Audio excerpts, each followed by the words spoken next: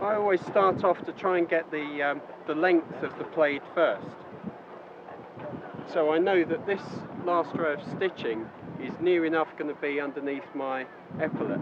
But the true measure is down here where the top of the fringe, that's, that's this edge, should be level with the top of the peak at the back of the spats. I know that roughly this row of stitching here, the last stitching, last row, is going to be in the right position for me. So I then take the other end, sliding the pleats underneath the buckle of my sword belt, or cross belt, and I wrap the plaid around me, over everything, except with the exception of dress cords or aiglets.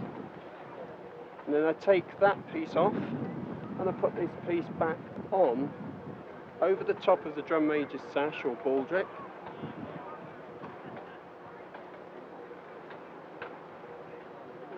and then replace the long length over the top. At this point, you do the epaulette up. But this is where you would check the length again, give the thing a good tug, so that it goes as tight as possible. Once again, check everything is right.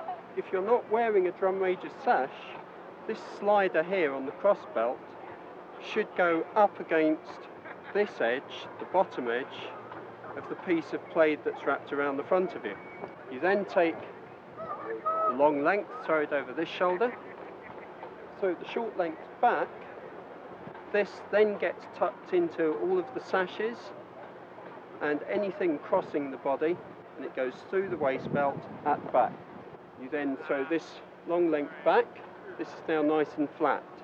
You then take the first two pleats I take this to be the front pleat and the first pleat. pinch these two pleats together, shape the plaid around the top of the shoulder. So we take these first two pleats and we pin through the bulk of this section across the front of the body take the pin out horizontally through those first two uh, pleats that are pinched if wearing a military baldric or drum major sash, all of the parts of the royal cipher should be showing. Um, so the, the plaid should be shaped around that. For competition use, the long length may be tucked in for drum majors into a sword strap if you have one. This helps when putting the mace around the back so that you don't get a handful of plaid. It should never be worn like this on a serious parade.